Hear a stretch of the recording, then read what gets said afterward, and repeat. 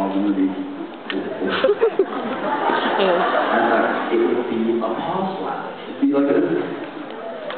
Hi, Paul.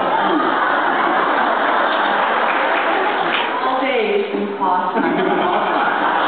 And it, it was like the most brilliant moment I've ever had. when it happened, I was like, Eureka!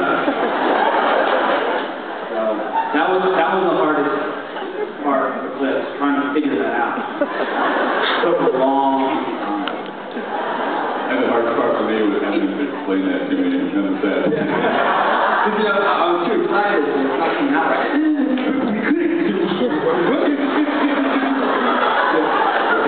But first I knocked on Julia's door. She looked at the people and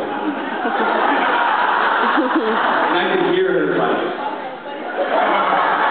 trying to walk away